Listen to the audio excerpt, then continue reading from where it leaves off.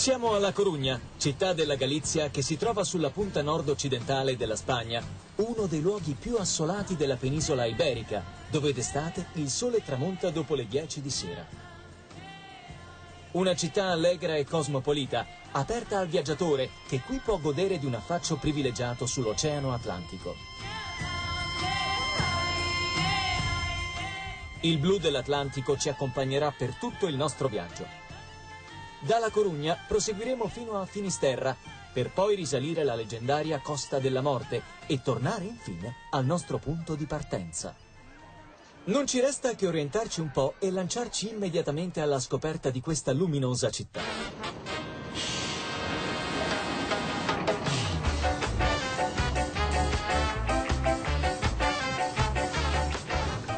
La Corugna sorge su una piccola penisola circondata a 360 gradi dall'oceano.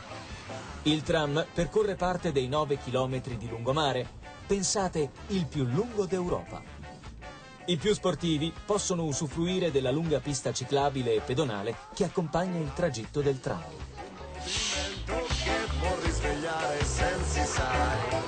La storia di La Corugna è quella del suo porto che risale ad epoca romana. Oggi è uno dei più importanti d'Europa. La Corugna viene chiamata la città di cristallo per le sue tipiche verande, chiamate galerias, un vero specchio di riflessi.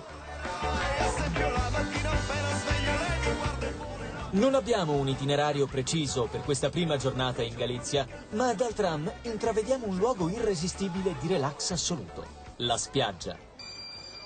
Ormai è deciso, scendiamo alla prossima fermata.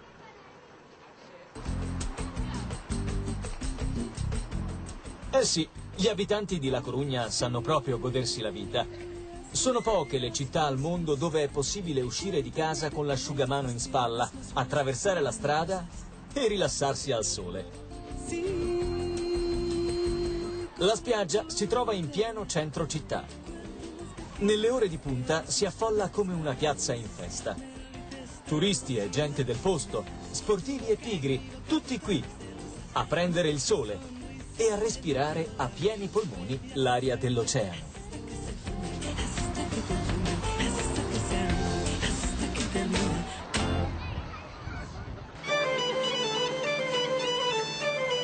Dopo una mattinata trascorsa nell'ozio assoluto, il pomeriggio lo dedichiamo ad una visita della Ciudad Vieja, il centro storico il cui punto nevralgico è la Piazza Maria Pita, dedicata all'eroina che cacciò dalla città gli invasori inglesi guidati da Francis Drake. Dall'elegante palazzo municipale partono le visite guidate alla scoperta dell'anima storica della città.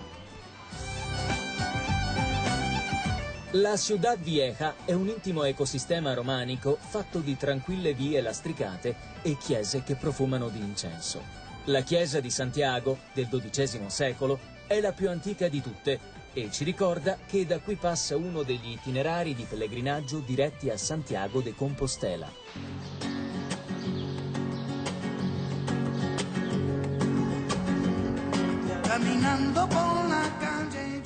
Nelle vie a ridosso del porto troviamo la migliore offerta in fatto di taverne e ristoranti, dove è possibile mangiare ogni specialità della terra e del mare di questa regione.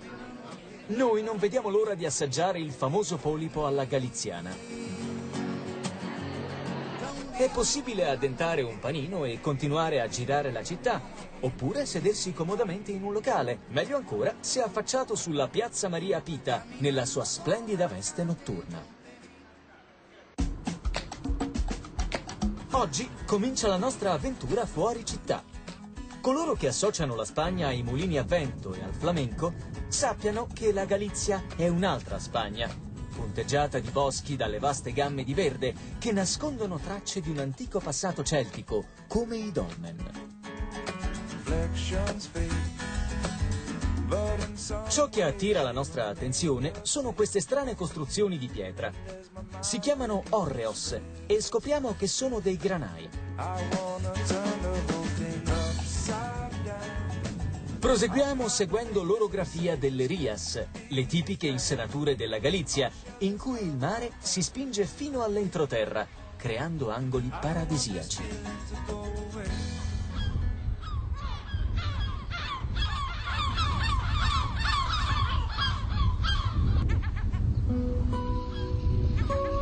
Eccoci finalmente a Finisterra, un paesino dove le abitazioni hanno gli stessi colori vivaci delle imbarcazioni, segno che la gente di qui si trova a proprio agio nel mare come nella terra.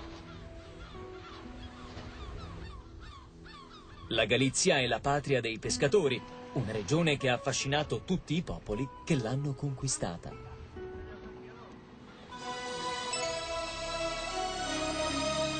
Furono i romani a chiamare questo luogo Finisterre, fine della terra. Essi credevano che il mondo finisse qui, perché ogni sera vedevano il sole sprofondare nell'oceano.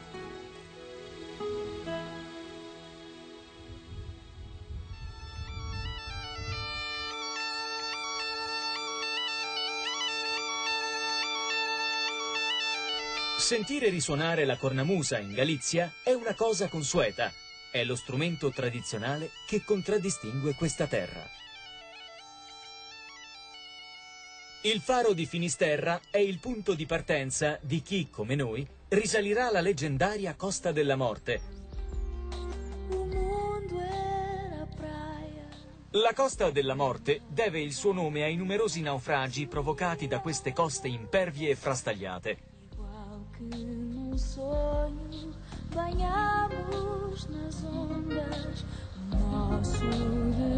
La Costa della Morte è punteggiata da numerosi fari, i fari più occidentali d'Europa, le ultime luci del continente.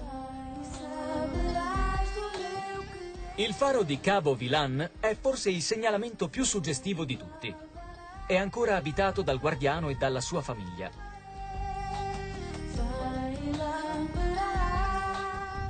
La sua sagoma imponente si staglia all'orizzonte come quella di un castello incantato. Per niente al mondo ci perderemo questo tramonto.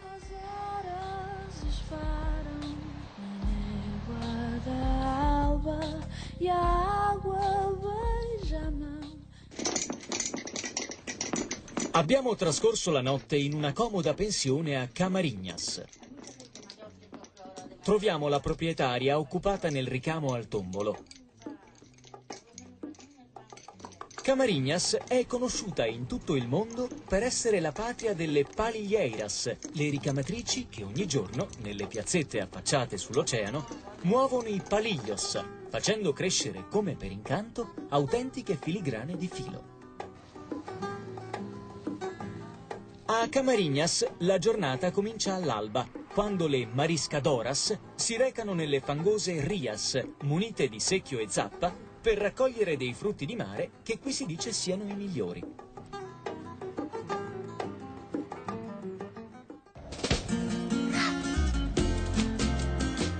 Oggi percorriamo un itinerario che attraversa una zona protetta, ricca di piccole insenature e spiagge selvagge,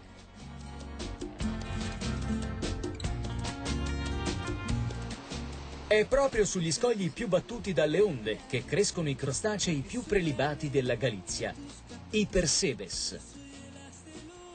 Raccoglierli è pericolosissimo, ma questi intrepidi pescatori, i Persebeiros, sanno muoversi come equilibristi tra gli scogli e il mare, quegli stessi scogli traditori che furono colpevoli di centinaia di naufragi. Il sentiero giunge al paesino di Cameie, su un piccolo molo visitiamo un originale museo all'aria aperta, opera di un misterioso naufrago tedesco che realizzò queste strane sculture con il materiale fornito dal mare.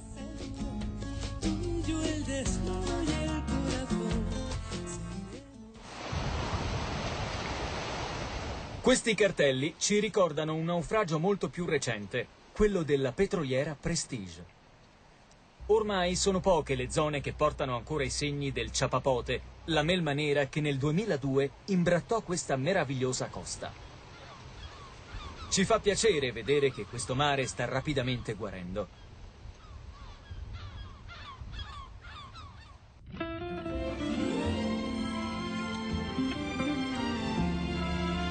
Secondo la leggenda, le Rias sorsero quando Dio, creato il mondo, appoggiò le dita sul paradiso terrestre per poi riposarsi. E queste spiagge hanno veramente qualcosa di paradisiaco.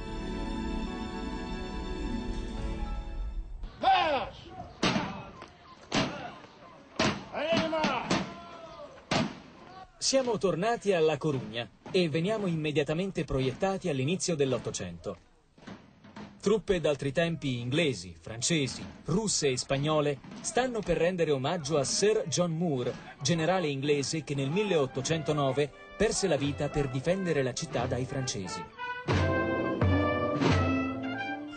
Ognuno rende omaggio all'eroe suonando il proprio inno e anche se le manovre sono un po' impacciate, il rigore e la serietà di queste variegate truppe è indiscutibile.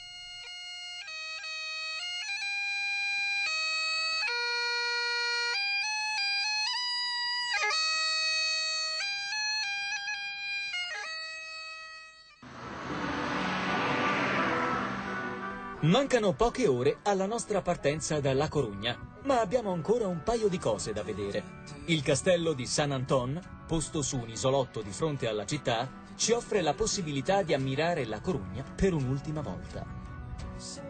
Eccoci, infine, sulla lingua di terra che ospita l'antica Torre d'Ercole, il simbolo della città.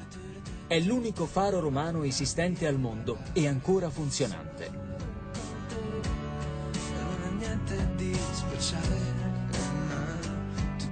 Questo promontorio